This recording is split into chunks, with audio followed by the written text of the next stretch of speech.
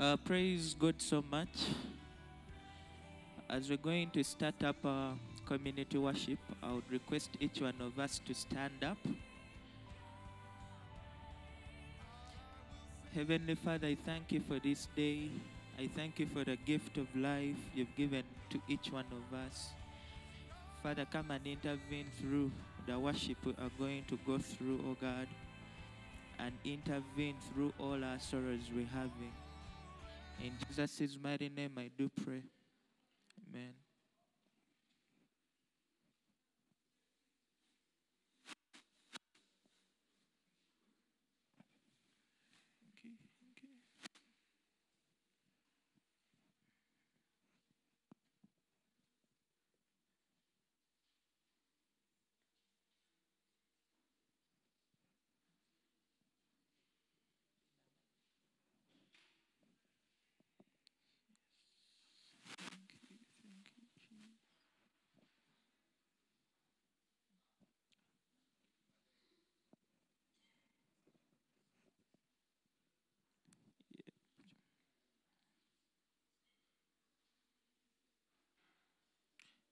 You, Jesus.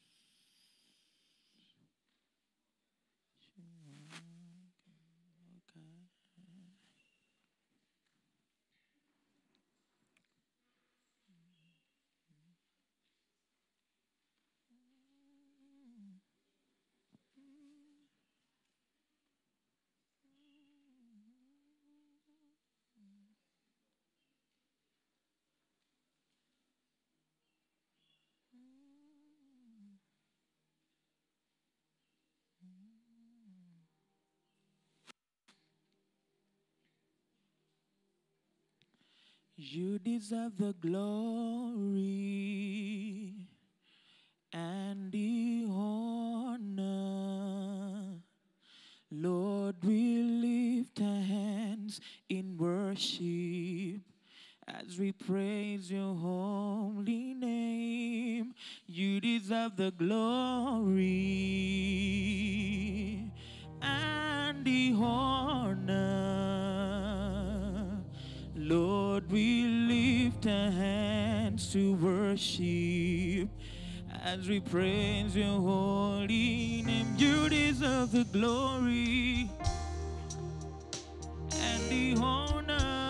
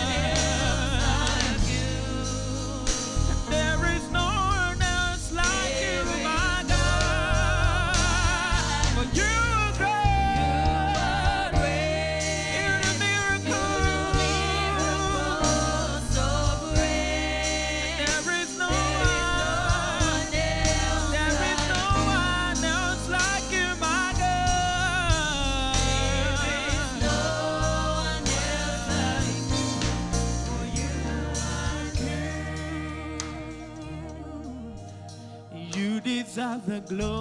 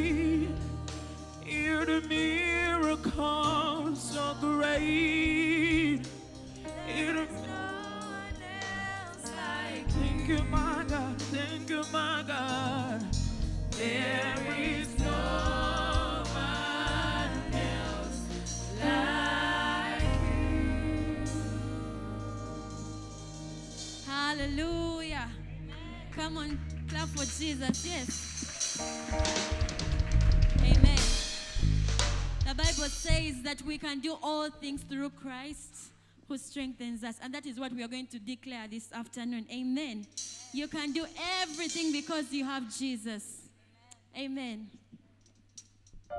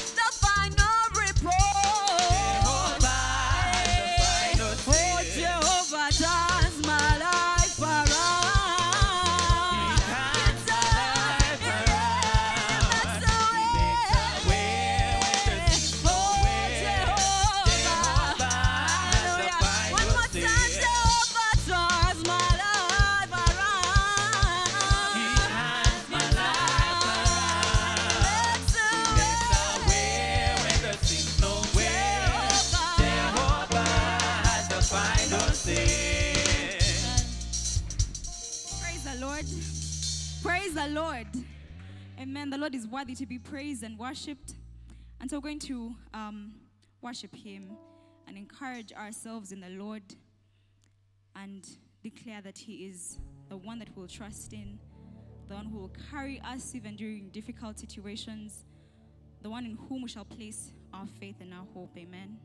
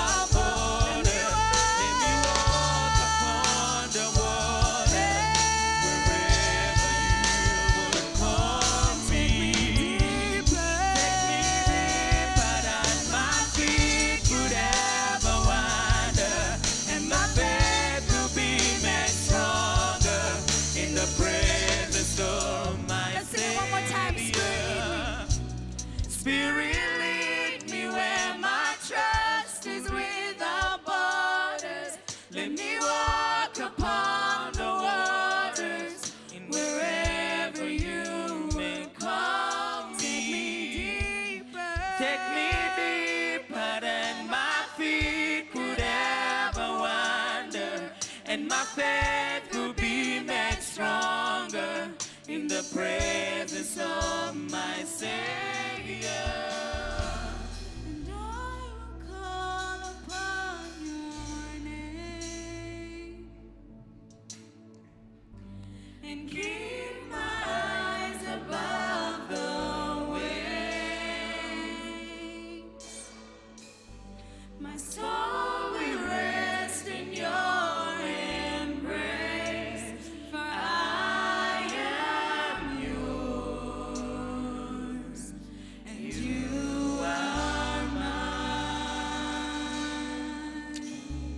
Give you glory and honor, Lord, for the assurance, King of Kings, that you are ours.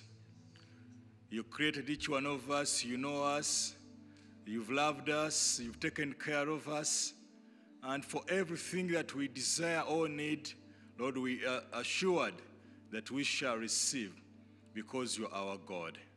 We want to commit ourselves to you and this time of our to you. The Lord, you will speak to us, each one of us. We commit your servant that's going to speak to us to you.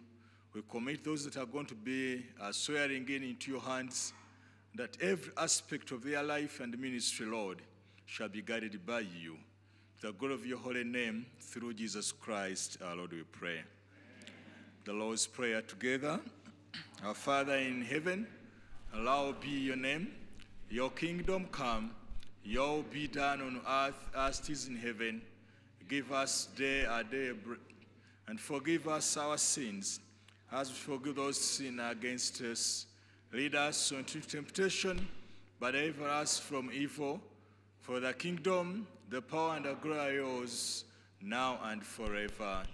Amen. You may be seated for a while, even as we enter into a moment of prayers and intercessions.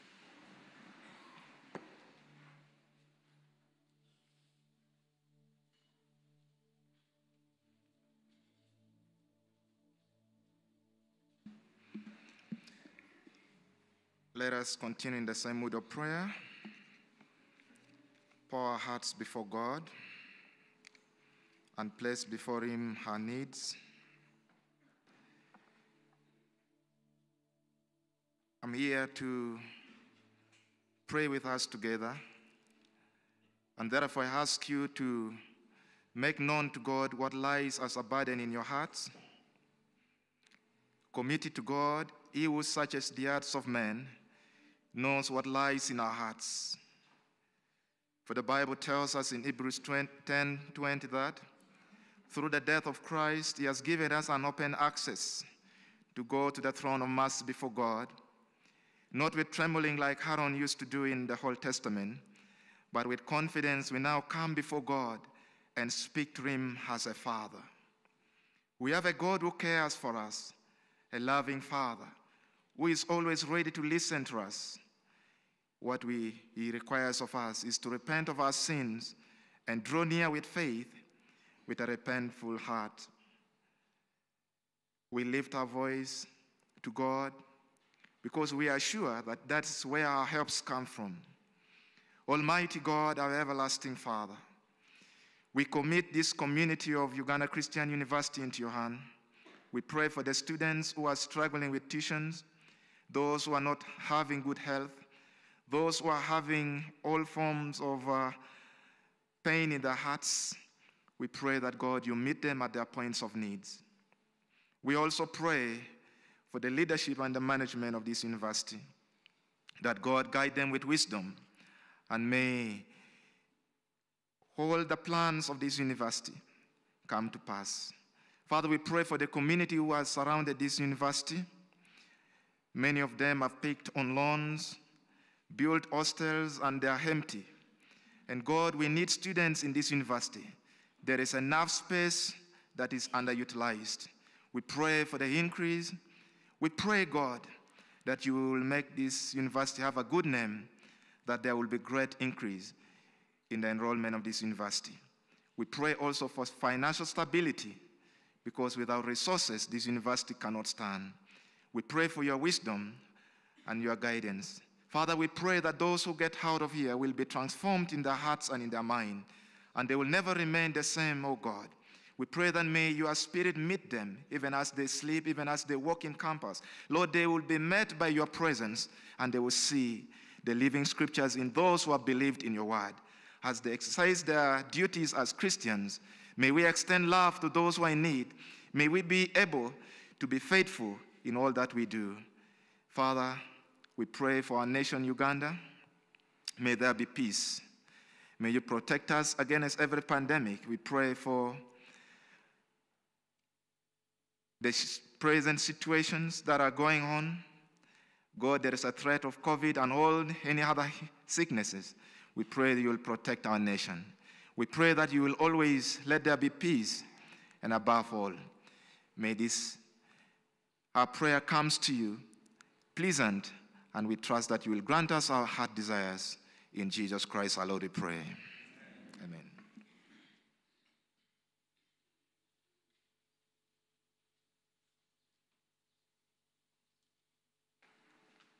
Praise the Lord. Praise Jesus. Please join me and uh, welcome your neighbor. You can uh, say hello to them. And uh, also, welcome our chaplain who's going to come and give us a few notices, but also take on the other part of the service where there's swearing in of new members of parliament. Chaplain. Good afternoon, brothers and sisters. Thank you so much for coming to this worship uh, event for us as a community.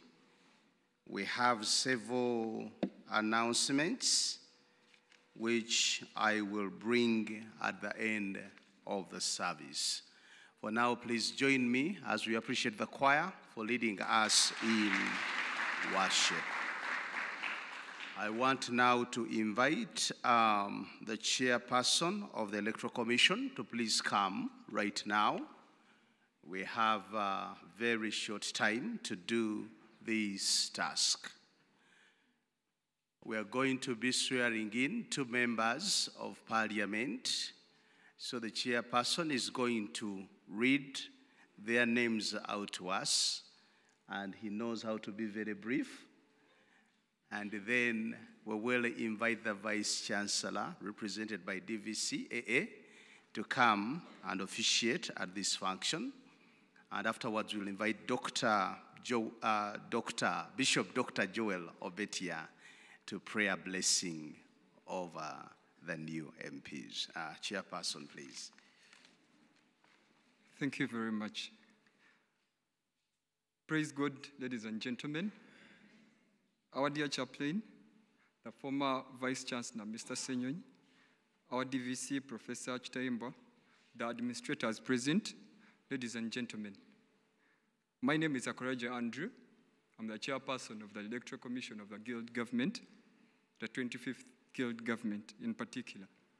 Uh, on the 25th of May, that was last month, we commenced the electoral process for the two constituencies that included the constituency of theology and special needs. We carried out the electoral process that includes nominations, vetting, and campaigns. And on the 26th of May, which was a Friday, we had the voting process where people from the different constituencies exercised their duties, their civic duty of voting. And from that, we got two successful candidates, and these are the candidates that I'll be reading out today that will be swearing in. Uh, from the constituency of theology, we got Madame Namara Betty. Please, Madame. And from the constituency of special needs, we got Mr. Nomwesigwa Noble. Thank you very much. Let me invite uh, the MPs to step forward. Please come up. Please come up. I hope you have a Bible because you'll need it. They have bodyguards.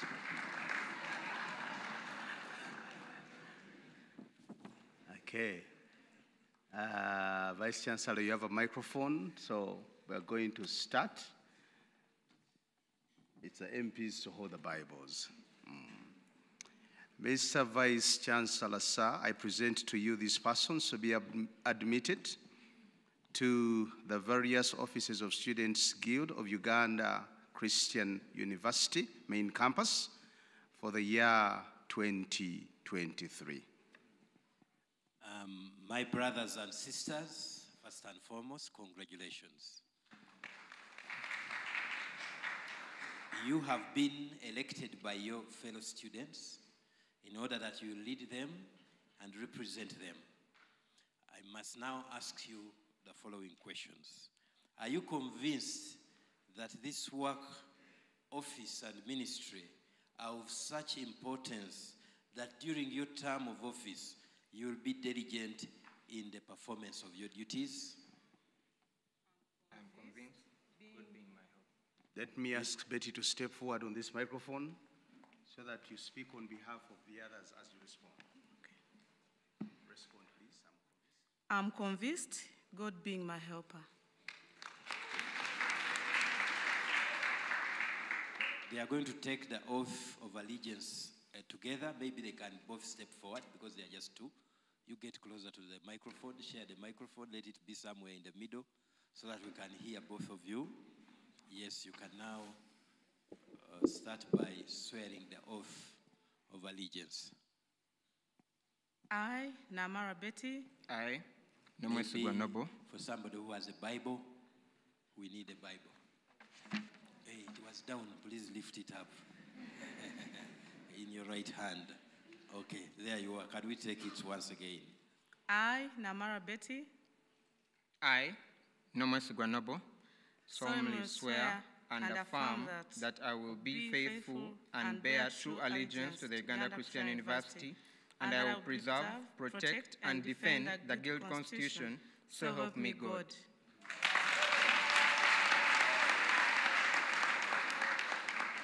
They will now take the oath of the members of parliament. I, Namara Betty, I, Nomwesigwa Noble, being, being sworn in as a member of Parliament, solemnly swear to support and defend the Constitution of Uganda Christian University Guild, Students Guild.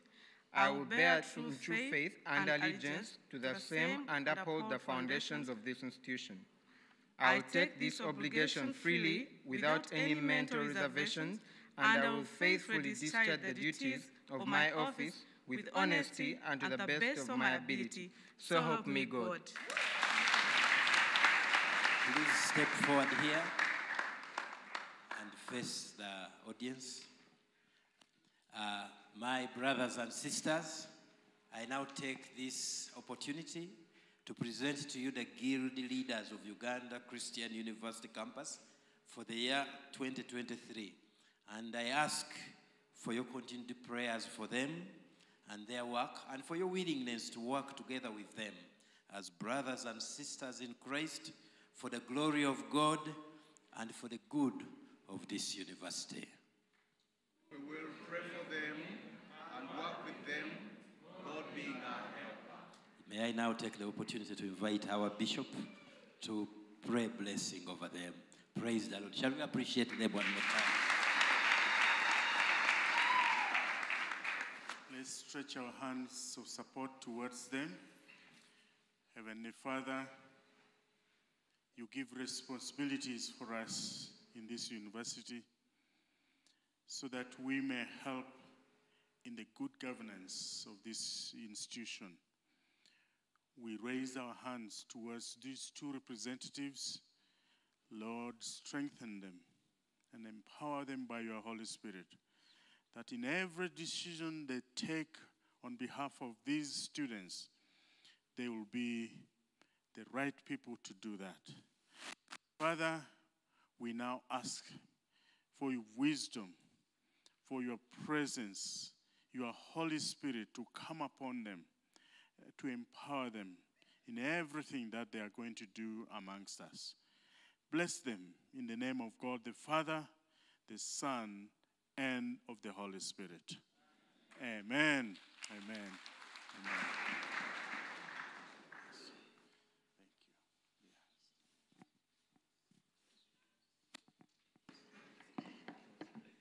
Congratulations. Please remember me in your kingdom.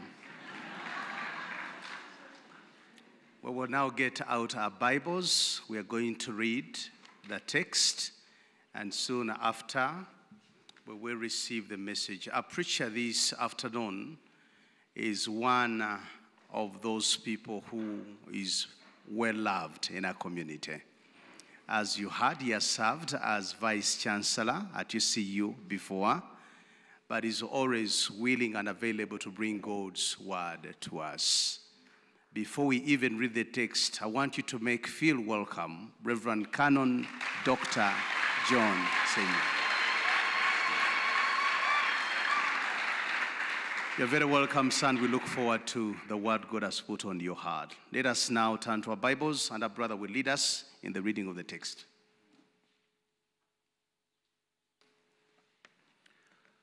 Praise God, brethren. Our reading this afternoon is from 1 John chapter 2, verse 15 to 17, and we shall jump to chapter 5, verse 4 to 5. First John chapter 2, verse 15 to 17, then chapter 5, verse 4 to 5. I'm reading from the English Standard Version.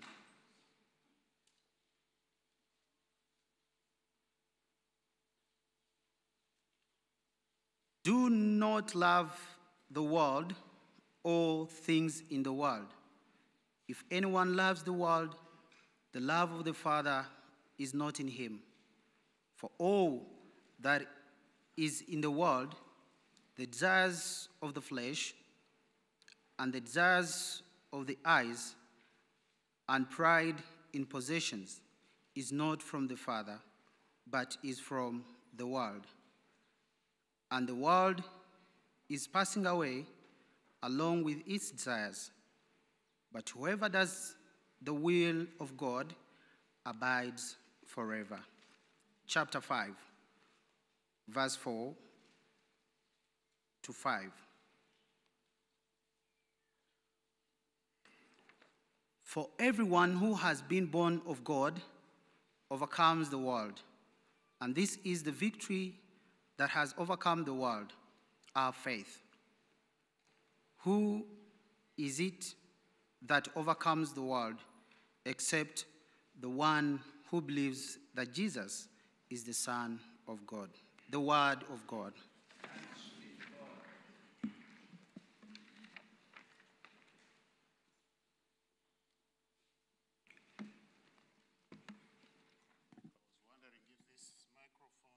Is it working?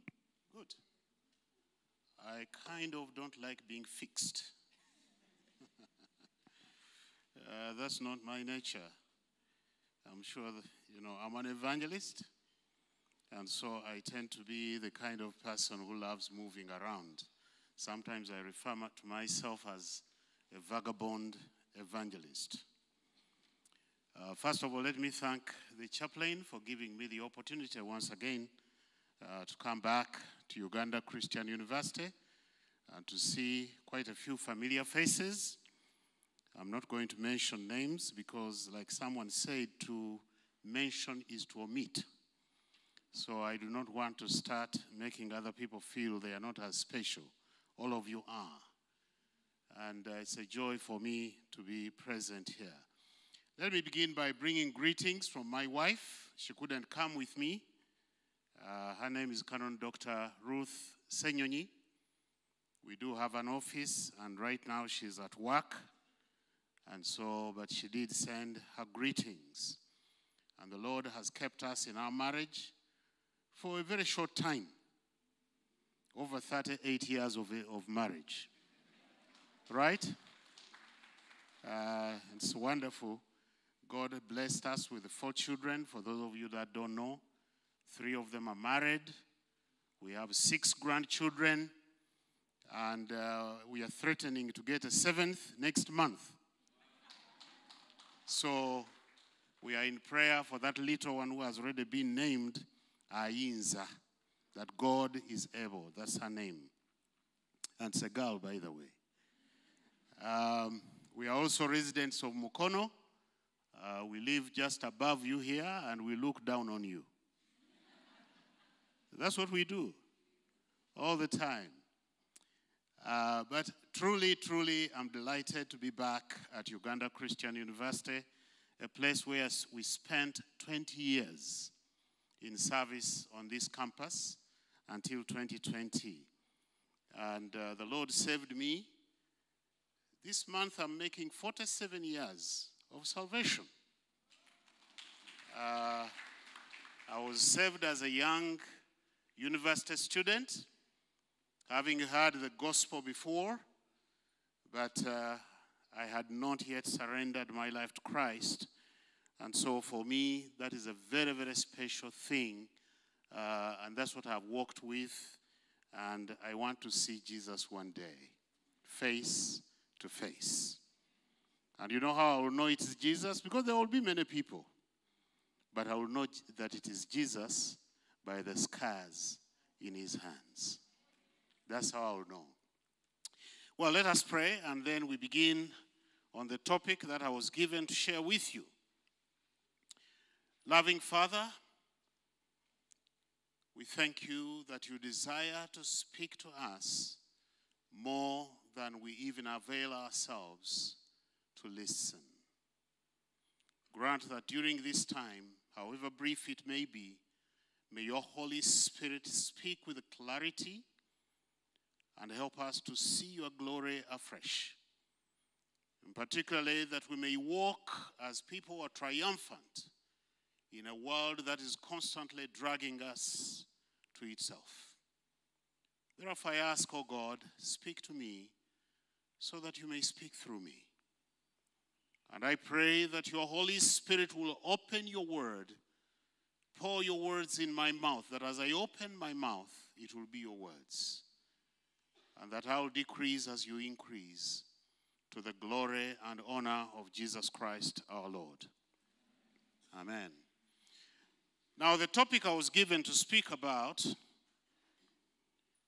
is faith that overcomes the world.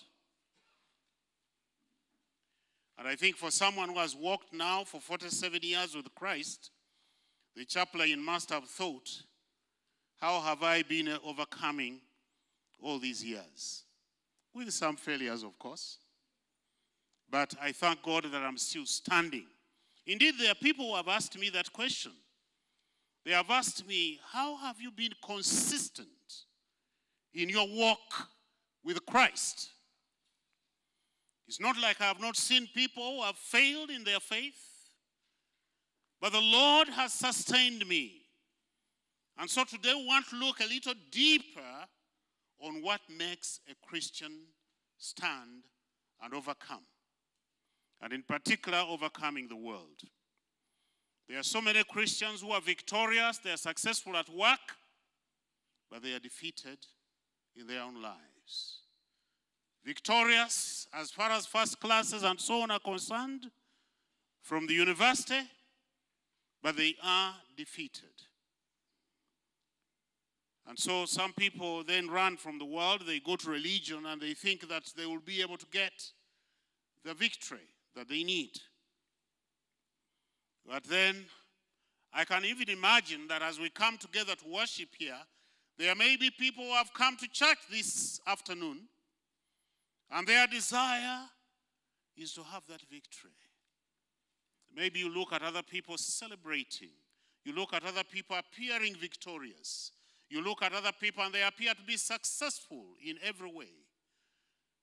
You smile on the outside, but your heart is crying. As the wise man said in Proverbs, that even in laughter, the heart may sorrow. So, my dear friend, as we talk about this, I think it is important for us to reflect. When we get saved, God does not save us for just a year or two years, does not save us just for a time. He saved me for eternity, forever. But as long as I walk in this world, there are going to be all sorts of snares, all sorts of traps that are going to make it difficult. So let me first of all begin by talking a little bit about the modern times. Because I think there is so much misunderstanding of what salvation is all about today. And so many people fail to walk simply because they are defeated by the habits in their life. First of all, I want to say how much I appreciated the theme for this 20 semester. Transform, uh, called to be culture transformers. That's a very appropriate one. And I would start even by asking a question How many of you are actually transforming the world around you? How many? Or are you adding to the challenges and the difficulties and the problems of the world?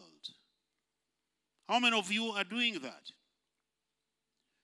Now, the passage that we read in First John, first of all, talks about love and says, Do not love the world.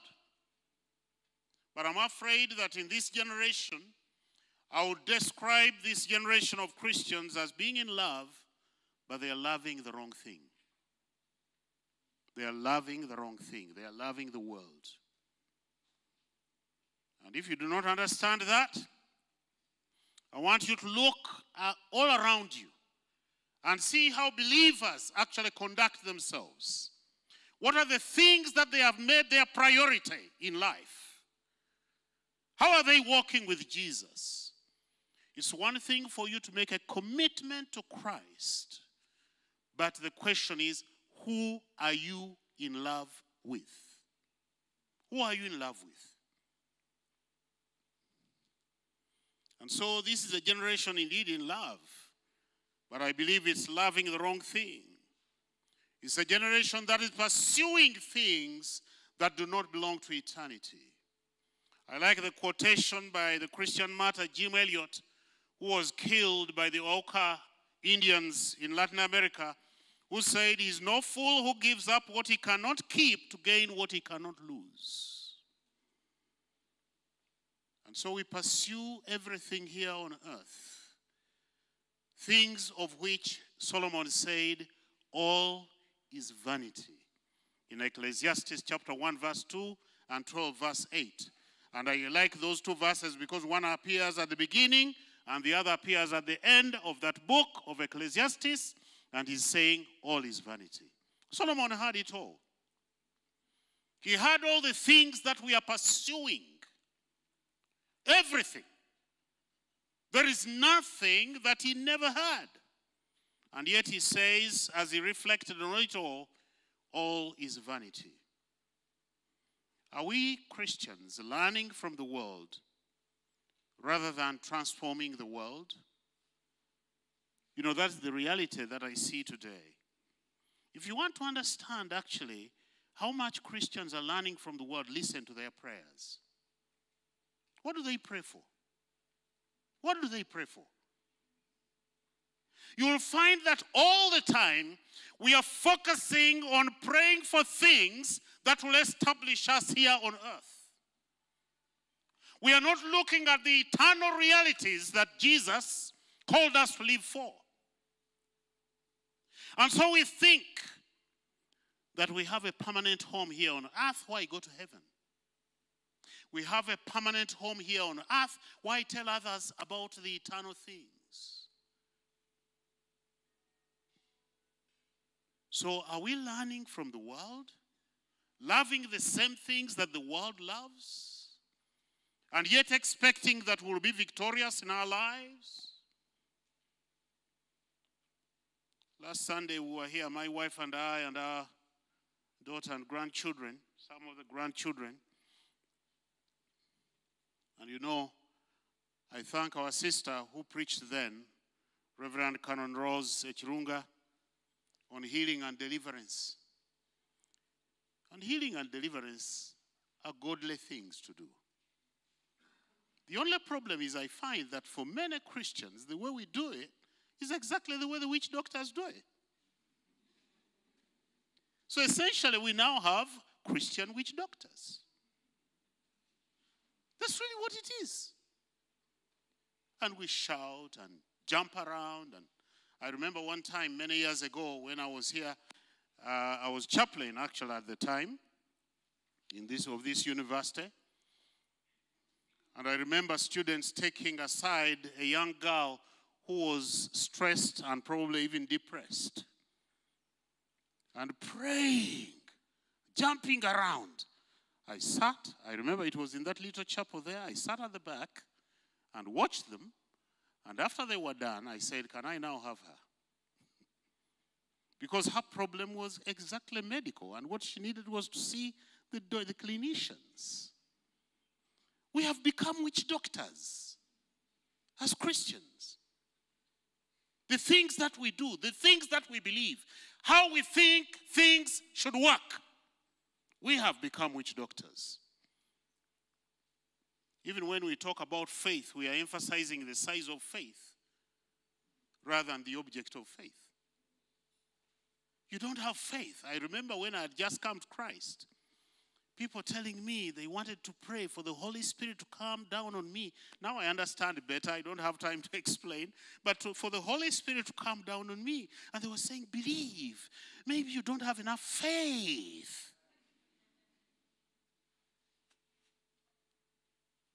And I know there are many of us. And you know the reason why people want all these things? Is so that they may appear to be victorious in the world. It's not necessarily that they are victorious, they just want to appear so. I'll give you one other example because time would be against me. Why do people go to church these days? I think if I look carefully, what I see is that Christians go to church for entertainment. Just like any other people of the world actually go to discos, they go for entertainment. If the preacher is not enjoyable, they say, ah, I better change church. In other words, we've got the worldview of the world and we come to church with it. If the choir does not sing and captivate us, we kind of think we better change church. If I were to ask you, my brothers and sisters, how would you describe your salvation? For most people, when you ask them, Are you saved? They say, Yes, I'm saved. What did Jesus save you from? You see, I was lacking fees and Jesus gave me fees. That is salvation. We do not understand a thing about what it means to be saved. That's what I'm talking about. So everything is just enjoyment. If church is not enjoyable, it's not worth attending. it's not. And then no wonder that most pastors no longer speak about sin. But I must hasten now to address the topic more directly. Because John speaks a lot about overcoming, about triumph, about the victory of the Christian life. I do not even think I can say everything that John actually says. Well, I'm glad he's my namesake. So I want to talk now about the faith that overcomes the world. First and foremost, just to understand that overcoming faith is saving faith. When Jesus saved me, he changed me. He changed me. I am not what I was before I came to Christ. I do know what Jesus actually did for me. And I just want to share with you some of the things that have meant so much for me. First and foremost, overcoming faith keeps Jesus central. Jesus must remain central. Friends, if I go to a church and they are preaching to me everything, visas to the US, and I don't know why they go to the US and think that they are going to heaven. I've been there many times. They're just as many sinners as we have here. Jesus must remain central. For me, if Jesus is not heard, if Jesus is not exalted, I will walk out of that church unless I have a ministry in that place. And I had an example of that when we lived in the United States, attending a church. I won't tell you how we ended up there, but as a family, we ended up in this particular church where from the pulpit you received nothing, everything else you received nothing, and so we focused on ministry. Because after all, these, what a wonderful opportunity when you see sinners for an evangelist. So we started leading them in Bible study together with the associate pastor, who himself was a believer. But as far as the pastor was concerned, he kept the pulpit to himself. For the three years that I lived there, he only gave me the pulpit once. If I don't hear Jesus, you see, friends, if you have not understood that your salvation is completely hidden in Jesus, you are not yet saved. You're not yet saved. If you think it's about school fees, if you think about uh, getting a job, if you think about getting a first class or whatever, all those things for us, we've gone through them. But Jesus remains supreme. He's the center of my salvation. And so John says in 1 John 4 4, little children, you are from God and have overcome them. For he who is in you is greater than he who is in the world. It's when Jesus truly settles in you that his resurrection power becomes victory for you over the world. That's how it is. That everything has been hidden in him. He's the center of our faith. Secondly, overcoming faith keeps God's word central. God's word. You see, friends, I'm sure you've heard of the troubles that we are in as an Anglican communion. And that's why we were in Kigali just the other month. And the whole issue started with taking the Bible like we can reinterpret it. By the way, it didn't start with homosexuality. Many people think it did. I remember I was doing my PhD in the early 80s and I was living in Australia. That's when I first had a, a, British bishop doubting the virgin birth, doubting the miracles of Jesus, doubting the resurrection of Jesus. Which Bible was he reading from? His own. You see, friends, when I came to Christ in 1976, I was taught one thing that what I read here, what is taught in the scriptures, that is truth. And over 47 years later, I have not been able to disprove that. But when I read the scriptures, when I hold on to the scriptures, I'm holding on to truth. Nothing less. If you are to overcome, let the word become your best literature. The question is Does God speak to you? How many of us, maybe we are not even available for the Bible to speak to us? For many of us. And so the only time we read the Bible is when the chaplain opens it up here. And then we expect that when we go out, we shall be able to defeat all the habits that are besetting us. The scriptures, God's word. And when it says it is sin, it is sin. When it says it's righteousness, it's righteousness.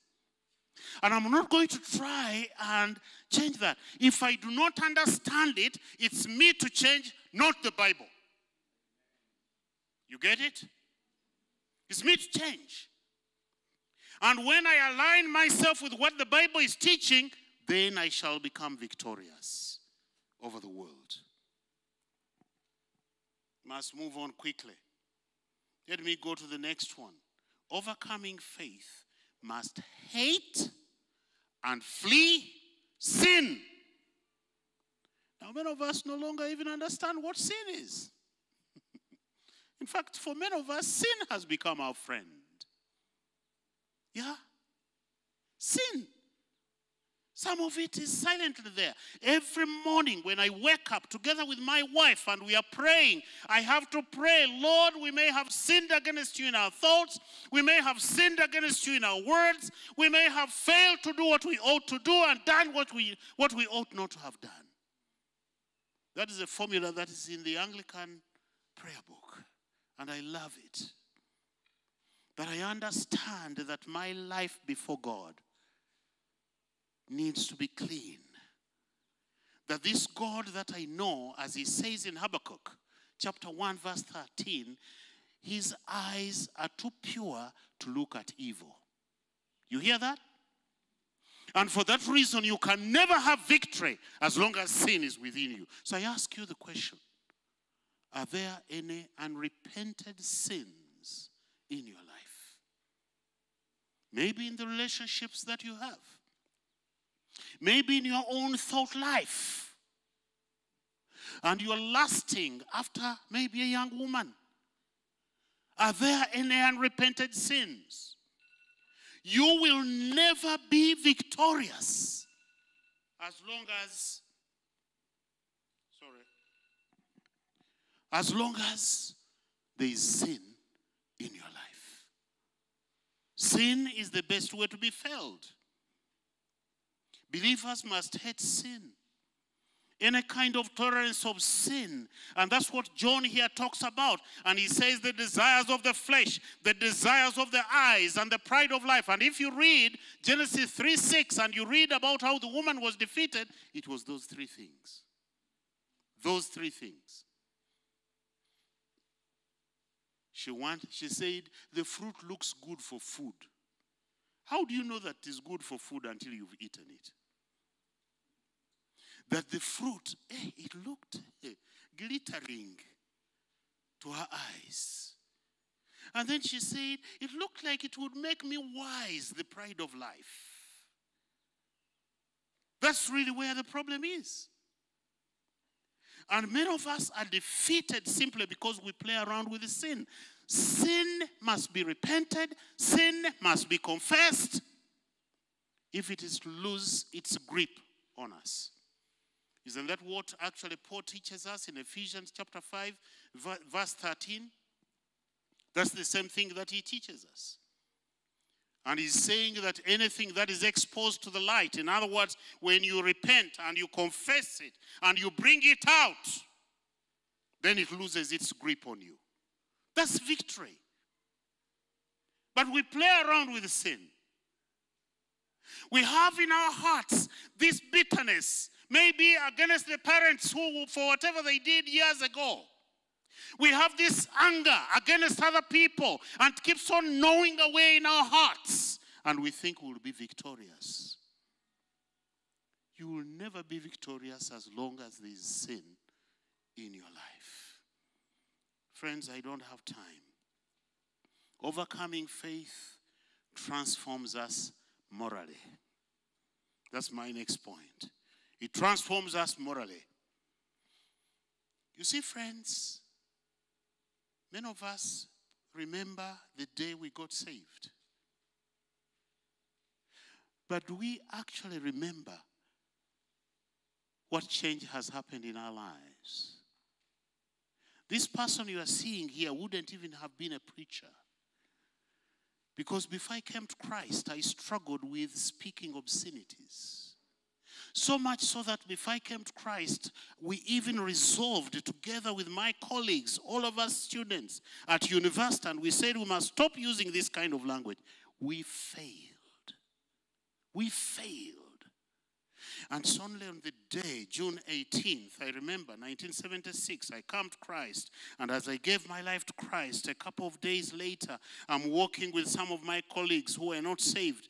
And they're using the same language that I was accustomed to. And for the first time in many years, not only did I fail to put in a single word of obscenities, I actually hated what they were saying. So, overcoming faith transforms us morally, and we become new people. So, I ask you has salvation changed your life? Many of us actually just think, oh, salvation has given me this, salvation has given me this, and so forth. Has salvation transformed you as a person morally? Has it? Overcoming faith unites us in fellowship with other believers. Yes, it does.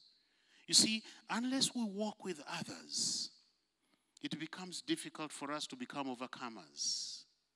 And I remember well after I had walked with those two friends that I told you, and they were speaking these obscenities, and my heart was grieved because I hated what they were saying. I did not like it. It was terrible. It sounded the worst, as if I had never known that it was part of my life. And at that point in my heart, I said, I think I was nearing, I was in the University of Nairobi, I was nearing our coming home to Uganda. I said, when I go back to Uganda, I'm going to give up this salvation. But God is amazing. Because that very evening there was a fellowship of believers. And I decided to go because after all, I had someone who was following me up. So I went and attended the fellowship. By the time I left that fellowship of brothers and sisters, I was determined to go on. Fellowship is not just a place for singing, right? Fellowship is not just a thing. Just being among believers changes you, empowers you, encourages you. And that's what it did for me. And I went away and I was able to walk with Christ, and I have continued to walk with Jesus, and I don't like missing fellowship. My wife and I today, we go as far as Namirembe just to find the brethren with whom we have fellowshiped for many years. And we go there, and each time we go, and we are welcomed into that fellowship, we enjoy the very fact that these are believing as we believe. You see, if you are to be an overcomer, you can never walk away from fellowship. Two more things quickly. Overcoming faith walks in brokenness. Many of us don't understand what brokenness is. Brokenness that David talks about in Psalm 51, verse 17. A broken and contrite heart, O God, you will not despise. That when you have a broken heart, and you're willingly submissive to the Lord Jesus Christ. Sometimes it, Jesus speaks to us through the fellowship. Sometimes he speaks to us through the Bible. And you know, the fellowship may say, brother or sister, this is not the way you should walk. Now, many of us just say, but I, you know, I, I will go ahead and do it. That's not brokenness. Brokenness is to look inside yourself and just say, yes and you're broken before that. And you have the readiness to be corrected and to be helped. The final one overcoming faith walks in the light. Transparency, an open life. You've got to be transparent to other people. You know, the one secret that I have found that when you know you are, you are transparent to others. Let me just use my wife, because with my wife we share everything. Even if I have lust in my thoughts, I tell her. When you walk in the light like that, you start now fearing sin. because you don't want to, to do anything or to think anything that you must tell your wife. Now, how much worse if you have to tell it to other people? You see, friends, that's what I'm saying. That you walk in the light. Like I quoted for you in Ephesians 5:13, anything exposed to the light will lose its grip on you. To lose its grip on you. I must end. So, friends, how where are you? Are you overcoming the world, or is the world overcoming you? And you know, the worst thing is sometimes is when we have a status. For example, I'm a clergyman, right? When I'm a clergyman, I want people to think everything is all right. But I know it isn't. I know that I'm being overcome. And so I want everybody to think all is well. When we are in these positions, I was vice chancellor here, as you heard. When you're vice chancellor, you kind of think you must be on top of things and you must appear so. Friends, you can appear, but that doesn't mean you are. You may appear, but you're defeated. And that's why we talk about these things. So, is your faith overcoming the world? Or it is flowing along with the world? I could have said more, but I will leave it at that. Let us pray.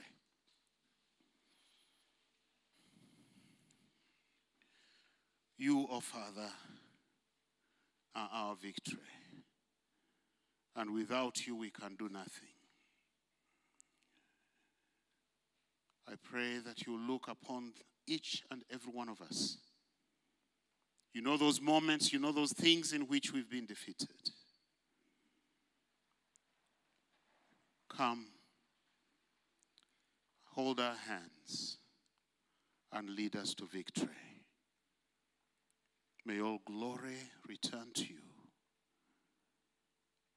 Thank you.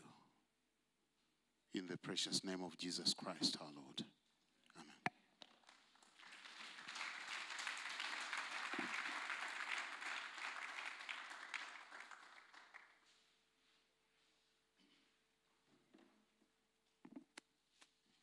Sounds like that hand clap was for the class representative.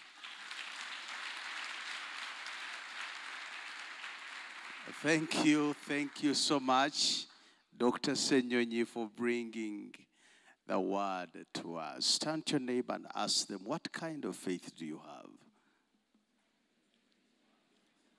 If that neighbor is boring, turn to another one who is not boring. Ask them, What kind of faith do you have? I think that is the matter we're walking away with. Do we have overcoming faith? Or do we have some kind of synthetic faith? Thank you so much for the seven things. As you go to lunch, talk about those seven things and let the message sink in our hearts. Uh, a few things for our information. From Monday the 19th to the 25th, we shall have the International Students uh, Association Week. The activities will involve a cultural gala, community outreach, and a Christian, a Christian movie night, which we'll watch together. Monday 19th to the 25th, contact the DOSA's office if you want to participate. This Saturday, we have uh, a farm tour led by Men of Purpose, and registration for this should end by midday Friday. If you're interested, contact uh, our brother Shadrach. Acholi Students Association, you have a meeting on the 22nd of June at 4 p.m., and that will be in Agape Square. Lastly, we have a UCU Para Counselors Association outreach, and they're going to give pads to girls in need. They're raising money from us as a community to buy these pads, and they want to raise 1,000 pads. If you want to contribute, please at least contribute with 1,500 for one item. And the people to contact are Gerald at 0770 590 374 and uh, Benjamin at 078 425 850. Let us stand and close our time together. Sound room, did you find that hymn? Was it there as we respond to this word? My faith has found a resting place.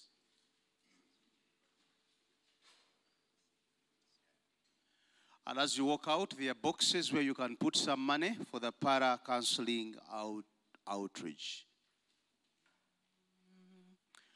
My faith has found a resting place, not in device so great.